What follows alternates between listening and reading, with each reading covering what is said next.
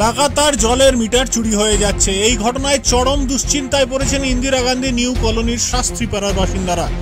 তাদের অভিযোগ, এলাকায় প্রায় আট, দশটি বাড়িতে এ ধরনের ঘটনা ঘটেছে। ফলে বিপাকে পড়েছেন তারা। বলাই বাহুল্য, পুর নিগমের তরফে সব ওয়ার্ডে জলের নতুন মিটার বসানো হয়েছে। ওইসব মিটারের ভেতর পিতলের যন্ত্রাংশ রয়েছে।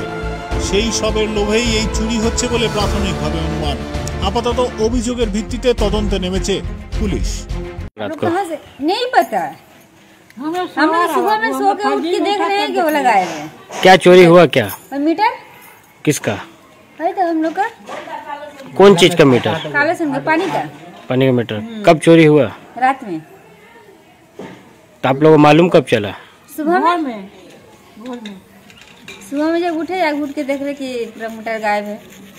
के बाद रात में मीटर पानी का चोरी हो गया है सुबह में देखे कि मीटर गायब है पाइप सब तो टूटा हुआ है मीटर का बॉक्स फेंका हुआ है नल तोड़ा हुआ है साथ हुआ है सबका मीटर गायब है আসানসোল থেকে নিজস্ব প্রতিনিধি রিপোর্ট টিভি নিউজ টেন সুলভে সঠিক চিকিৎসার একমাত্র প্রতিষ্ঠান বিবেকানন্দ হসপিটাল চব্বিশ ঘন্টা emergency service blood bank trauma care আপনাদের সেবায় আমরা তৎপর গুণমান ও পরিষেবায় দুর্গাপুর বিধাননগরের ডক্টর জাকির হোসেন এভিনিউর বিবেকানন্দ হসপিটাল। শিল্পাঞ্চলের মানুষের মন জয় করেছে। সবার আগে খবরের আপডেট পাওয়ার জন্য সাবস্ক্রাইব করুন আমাদের ইউটিউব চ্যানেল এবং ক্লিক করুন বেল নোটিফিকেশন আইকনে।